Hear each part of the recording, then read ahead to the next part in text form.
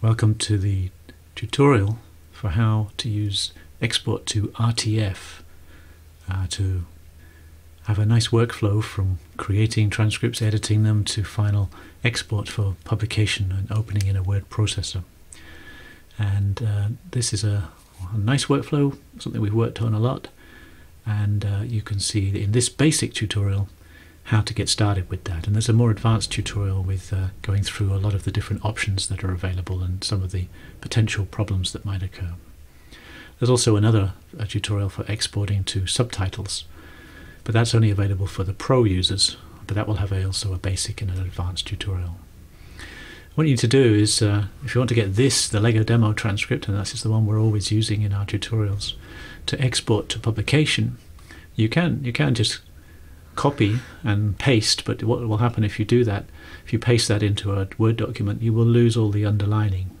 Also, you might get some of the color uh, from the syntax highlighting, but otherwise uh, you will lose the underlining. So if you wish to keep that, you're going to have to use export to RTF.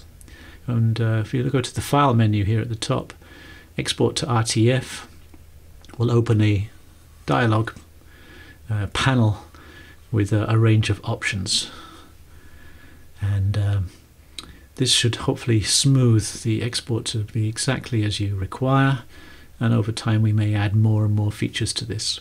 We chose an RTF because it's a it's a legacy but standardized uh, for all uh, well pretty much every word processor you can import RTF and retain a lot of the formatting. So rather than aim for a particular word processor format like DocX for Word, we've decided to go with a, a, lighter format that would work with any word processor. Uh, in future, we may have it also for uh, exporting to PDF or to image as well. But you can pretty much do that straight from Word, uh, and or to an image, you can just take a screenshot of the document in Word. So you get a bunch of these options here, and then a preview window here on the right-hand side, which shows you your transcript, and you can scroll up and down if you uh, uh, to see your transcript. And we've just shown you the very basic settings here, and that's all we'll go through quickly uh, uh, because some of these are not available unless you are a DOTE Pro user. So for the free edition, uh, you have some of these options. Uh, for example, syntax highlighting is set on here, which means that you get the same highlighting as you do in the original. And if I turn that off, then you won't have any highlighting. So you can decide if you want to retain it, but it's it can make it a little bit prettier uh, your transcript and highlight things that might need, like uh, who's the speaker, any overlaps, and any uh, comments. And then line numbering is set as all, but if you don't have the Pro version, then you won't see any of the other choices. All just puts a line number on every single line that's on the transcript. And uh, uh, there are there are more options if you are a Pro user. Uh, for example, you could say only the first instance of consecutive primary lines, and you'll see the line numbering changes.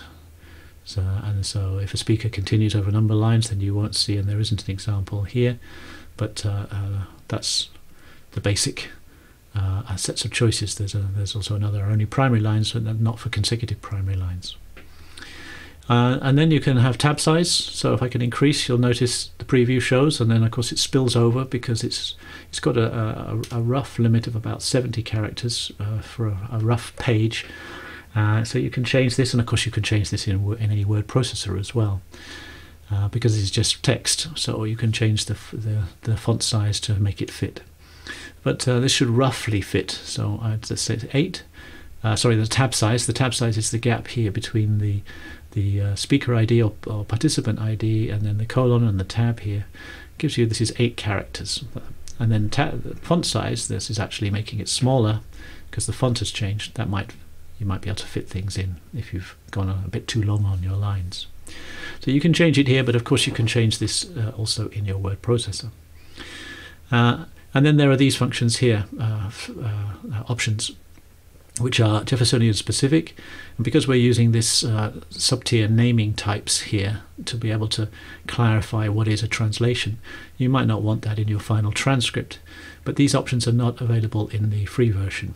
So uh, uh, that's a premium feature and I'll just show you here and then we'll see what they look like in Word. If I turn this one on here, notice they've all disappeared. and everything's nicely formatted. Uh, and then if I also say to give it a little bit of uh, nice styling, then it will give some styling. We lose the color then, but uh, now it's got the styling of highlighting the line, not the translation that's in italic um, and slightly grayed out. Uh, so that, that gives a little bit more definition, but you can turn that off if you wish and just keep it like this. And then you could turn off the color. So there we have a very plain transcript exported with simple line numbering. So, uh, how does this look if we have this basic setup here? If I exported this and all it will ask is, well, where do you want to store it? And I've done that already. What I'm going to do now is just uh, open the uh, Word document that's uh, with the basic Jefferson. Um, yeah, this one here. If I just cancel this and then highlight it again, we can compare the two. I have it open in a Word document here uh, this was just directly exported, nothing has been done. I've just opened it in Word and this was this uh, transcript exported. And here you can see with the basic settings I've got line numbering every line. I've still got the uh, the uh, um, subtier types I mentioned for the translation sub-tiers. Nothing else is formatted. I, I kept the syntax highlighting, so um, you can see that it goes down, keeps on going down for the whole transcript. So that's now exported. Uh, if I had chosen for the Pro version to have a lot more formatting, then uh, it could have looked like, uh, let's see, like this.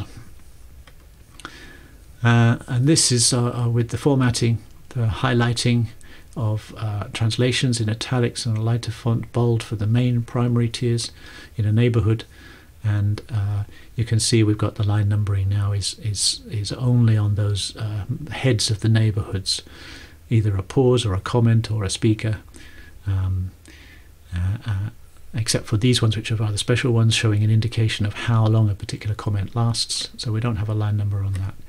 And that you can see as we go down uh, there we've got the problem there of something spilling over because it was too long.